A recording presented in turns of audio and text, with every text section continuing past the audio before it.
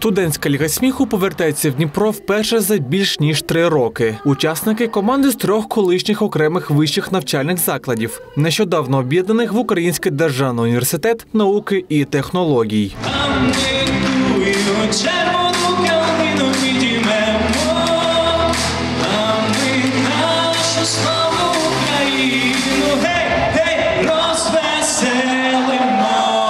Фестиваль гумору відкрив випускник військової кафедри вишу Юрій, який зараз командує зводом у своїй частині. Я не міг від такого запрошення відмовитись, Е, тим паче, що я дуже полюбляю творче життя.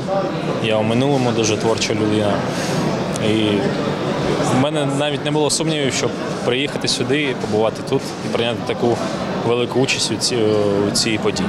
Після перемоги я буду приймати участь у всьому, що стосується творчого життя. У лізі сміху змагаються сім команд. Учасники кажуть, головне приємно та з гумором провести час, а перемога не більш як бонус. Жарти націлені на найріднішу для конкурсантів тематику життя студента.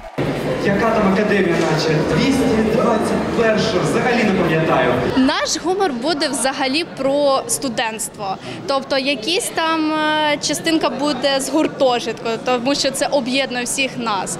Тобто, ми будемо більше акцентувати на те, що нас об'єднує саме от неважливо. Хіміки, ми економісти, всі разом ми студенти.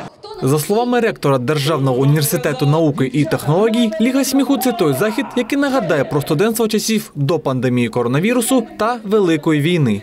Під час широкомасштабної агресії Російської Федерації ми повинні е, всіми фарбами розкрасити студентське життя. Це не тільки освіта і наука, це й студентство.